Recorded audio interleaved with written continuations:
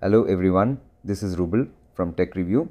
Today I'm here to show you how to fix the error 0x80070001 f-0x20006 when updating Windows 11 or Windows 10.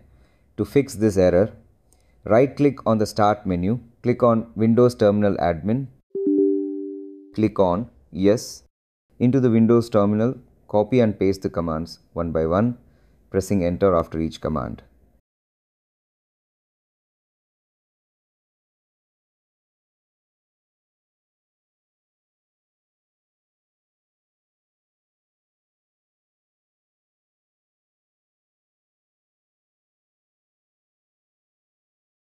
After completing all commands, close the Windows terminal.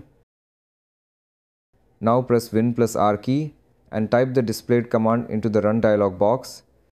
Click on OK. Now rename the CBS log file to any name. This will automatically create a new file. Now restart the computer.